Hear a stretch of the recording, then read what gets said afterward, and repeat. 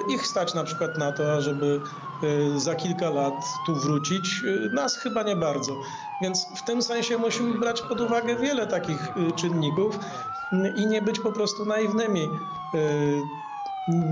Im bardziej będziemy silni, im bardziej będziemy samodzielni, im bardziej będziemy zdecydowani, tym mniejsze jest prawdopodobieństwo, że komuś przyjdzie do głowy, żeby nas zdradzić, bo będzie miał świadomość tego, że mu się to także po prostu zupełnie nie opłaca.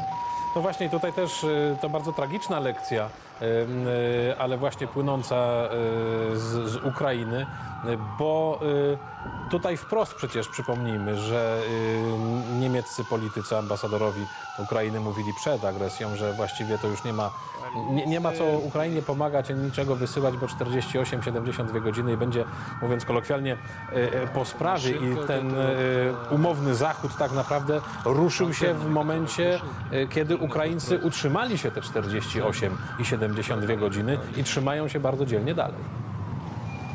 Tak, Świecie. dlatego o tym właśnie mówię, że no, przyjaciół mają silni, słabi zwykle nie mają przyjaciół, więc trzeba o tej prostej e, zasadzie pamiętać. Słabi zwykle są ceną, którą się gdzieś tam po prostu płaci w tych kalkulacjach no, wielkich tego świata. E, My dzisiaj nie jesteśmy już słabi. Dzisiaj e, zdobyliśmy sobie, wywalczyliśmy sobie na tym e, zupełnie niewyobrażalnym jeszcze z perspektywy pół roku, tak, pół roku mm, przedtem sytuację.